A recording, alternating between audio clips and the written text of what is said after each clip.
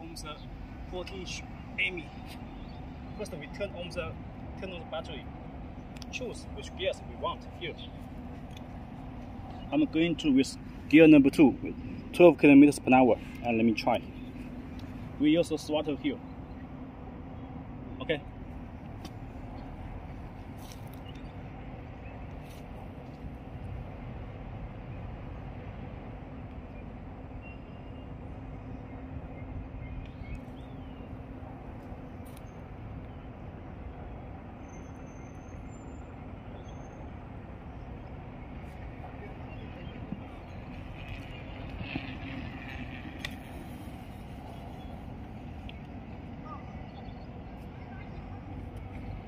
I am 72, 72 kilograms.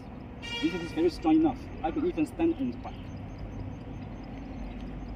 It's made by aluminum alloy. So if you like, buy from us. Thank you.